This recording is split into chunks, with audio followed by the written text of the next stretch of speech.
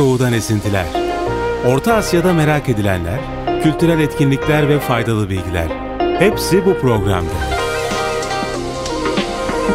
Sevgili dinleyiciler, Uzak Doğu'dan Esintiler programıyla sizlerleyiz. Programımızın bu bölümünde sözle değil, varlığınızla yönetin hikayesinden bahsedeceğiz. Makam sahibi olmak şeref getirmez.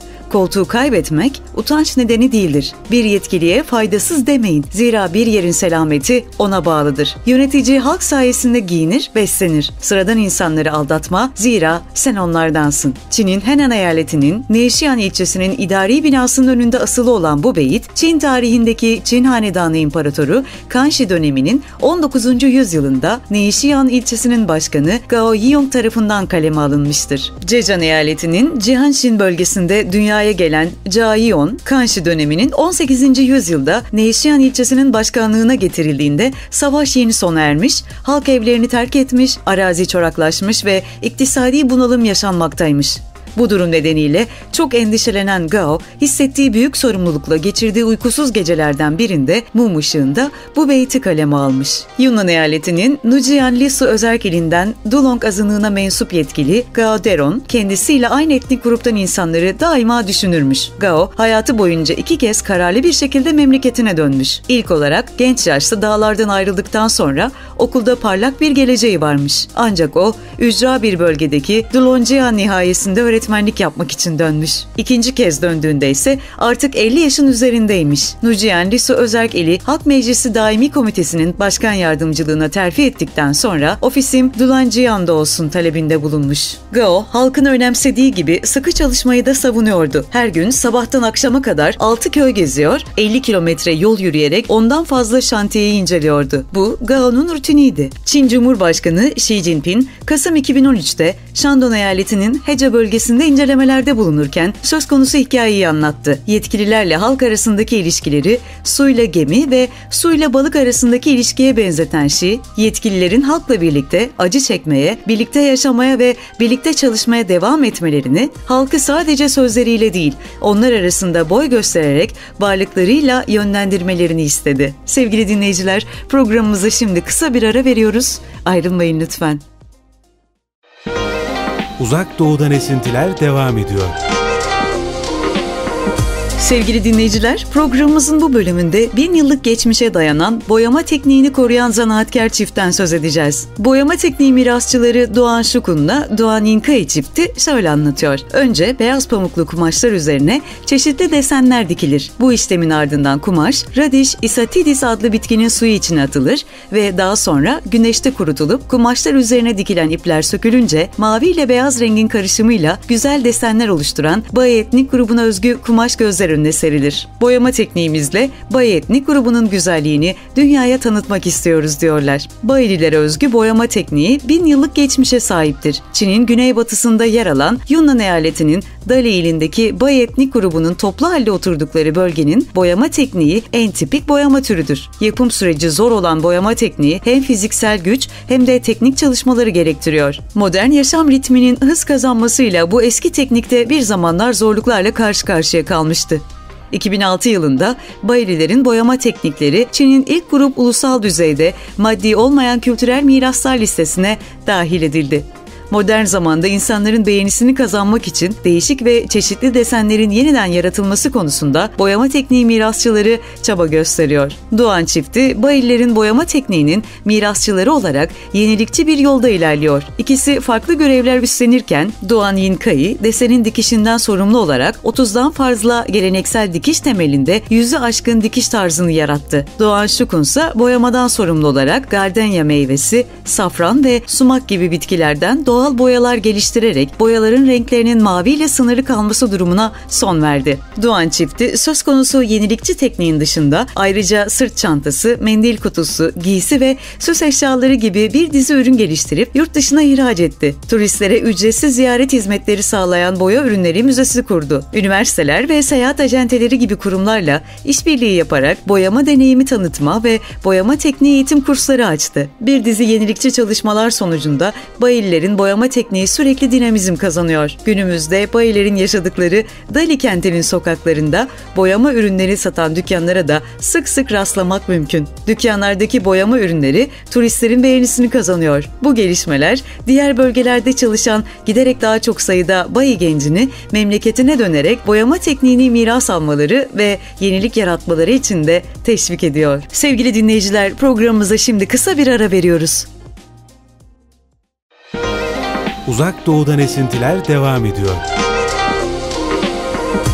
Sevgili dinleyiciler, programımızın bu bölümünde Shenzhou 14 ve Shenzhou 15 mürettebatları uzay misyonlarına hazırlanıyor haberinden söz edeceğiz. Shenzhou 13 uzay aracı geçtiğimiz günlerde dünyaya geri döndü. Çin İnsanlı Uzay Mühendisliği Ofisi, Shenzhou 13 uzay aracının öngörülen tüm hedeflere başarıyla ulaştığını açıkladı. Çin'in uzay istasyonunun inşası sürecinde 2022 yılı içinde 6 misyonu daha gerçekleştireceği, şu an Shenzhou 14 ve Shenzhou 15 mürettebatlarının seçildiği ve taykonotların ilgili eğitimleri alıp hazırlık yapmakta olduğu duyuruldu. Çin İnsanlı Uzay Mühendisliği Ofisi Başkanı Hao Chun, geçtiğimiz günlerde düzenlenen basın toplantısında Çin'in uzay istasyonunun inşa sürecinin kritik teknolojilerin denenmesi ve yapım süreci olmak üzere iki temel aşamadan oluştuğunu hatırlatarak Shenzhou 13 misyonuyla ilk aşamanın başarıyla tamamlandığını, artık yapım aşamasına geçileceğini ifade etti. Hao Chun, Çin'in uzay istasyonunun inşası sürecinde 2022 yılı içinde 6 misyonun daha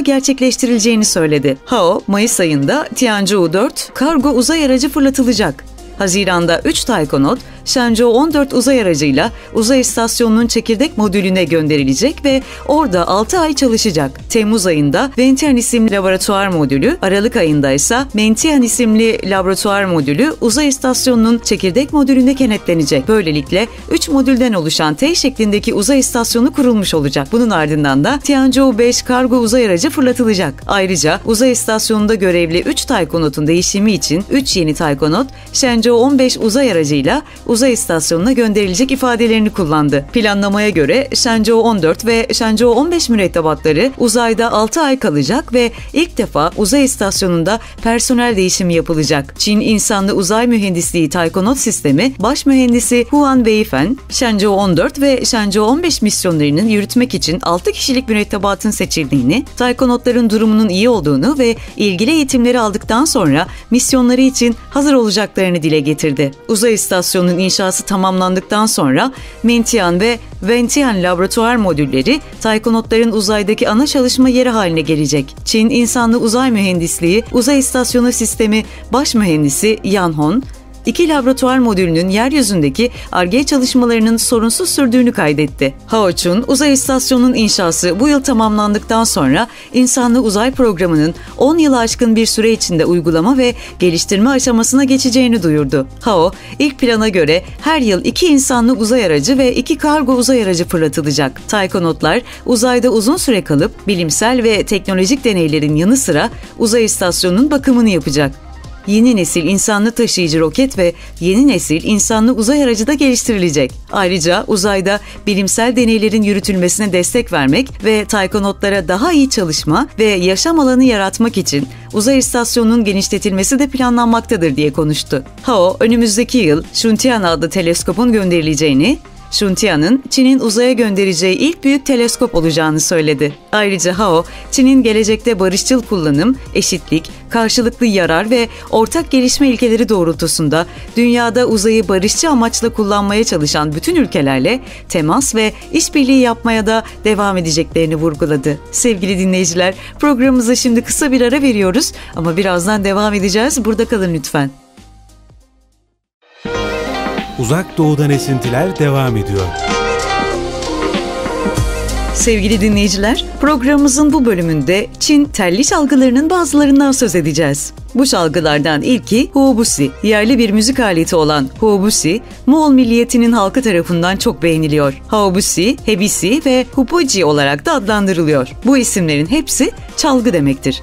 Çin'in kuzeyindeki etnik gruplar M.Ö. 1. yüzyılda Han milliyetinin müzik aletlerinden Juchen ve Konhu'dan esinlenerek bu tür bir çalgı geliştirmişlerdir. Geleneksel huobusi kaşık şeklindedir. 90 santim uzunluğundaki huobusi'nin başı büyük, sapı düzdür. Sesi şiddetlendiren kutu yılan derisiyle kaplıdır. 3-4 yayı bulunan huobusi'nin tonu yoğun kuzey otlak havasını yansıtır. Huobusi çalma yöntemi diğer yaylı müzik aletleriyle hemen hemen aynıdır. Çalgıcı sol elle yaylara basar, sağ elinin baş ve işaret parmağıyla yayları çalar. Huobusi'nin sesinin açık, berrak, tonunun güzel ve yumuşak olmasından dolayı tek başına ve diğer müzik aletleriyle beraber de çalınır. Huobusi ismine ilk olarak 14 ve 14. yüzyıla ait Çin'in tarih kitapları olan Yuan Hanedanı tarihi Lileçi'de rastlanıyor.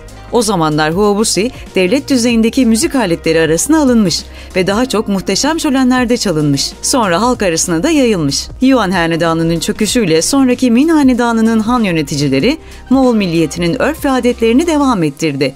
Ancak huobusi devlet düzeyindeki müzik aletlerinin dışında bırakıldı. 17. yüzyılda hüküm süren Çin Hanedanı döneminde Moğol milliyetinin örf ve adetleri bir kez daha yaygınlaştırıldı. Huobusi, devlet düzeyindeki müzik aletleri arasına tekrar alındı. Huobusi, ziyafetlerde çalınmakla kalmayıp imparator ailesinin üyelerinin toplandığı günlerde yani Çin takvimine göre her yılın birinci ve beşinci gününde de çalınırdı. Gelelim Dongbula'ya. Dongbula, Kazak milliyetinin kullandığı yaylı bir müzik aletidir. Bazı Kazak ailelerinde 7'den 70'e herkes Dongbula çalabilir. Dongbula'nın Kazakça'da özel bir anlamı vardır. Dong, çalınırken çıkan ses, bula ise çalgı akort etmek demektir. Uzun geçmişe sahip olan dongbula, M.Ö. 3. yüzyılda Çin'in Şincan bölgesinde yaygın olarak kullanılmıştır. Ahşaptan yapılan donbula büyük bir kaşık şeklindedir. Başlangıçta donbulanın yapılma yöntemi çok basitti. Halk sanatçıları bir keresteyi kaşık şeklinde keser, üzerine levha monte eder, 2 adet koyun bağırsağını yay haline getirir ve gövdesine 9 adet ufak davul koyarlar, Böylece dombula yaparlardı. Dombula, Kazak milliyetinin türkücüleri için vazgeçilmez bir çalgıdır. Kazak çobanlar da hayvanlarını otlatırken yanlarına mutlaka dombula alırlar.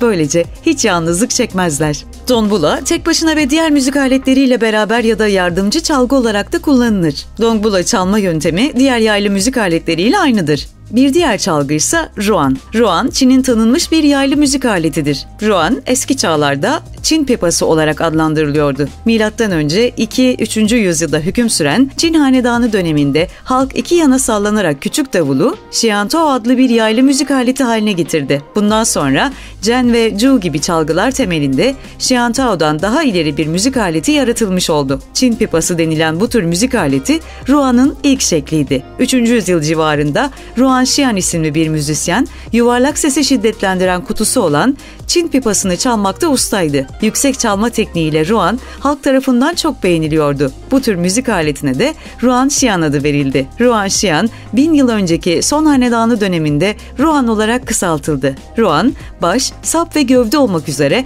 üç kısımdan oluşur. Baş kısmı genellikle ejderha ve buna benzer Çin'in geleneksel oyma sanatı eserleriyle süslenir. Son yıllarda Çin'de milli müzik aletlerine daha büyük önem verilmesiyle birlikte müzisyenler Ruan temelinde yüksek, orta ve alçak tonlu Ruan'ı geliştirdiler. Gelelim konho'ya. Çin'in eski yaylı müzik aletlerinden biri olan konho'nun geçmişi çok eskiye dayanır. Tarihi kayıtlara göre bugüne kadar korunan konho 2000 yılı aşkın geçmişe sahiptir. Konho eski çağlarda önce imparatorluk orkestralarında kullanılırken halk arasında da yaygın olarak kullanılmaya başlanmıştır. Çin tarihinde hüküm süren Tan Hanedanı'nın refah döneminde ekonomi ve kültürün hızla gelişmesiyle birlikte konho çalma sanatı da oldukça yüksek seviyelere ulaştı.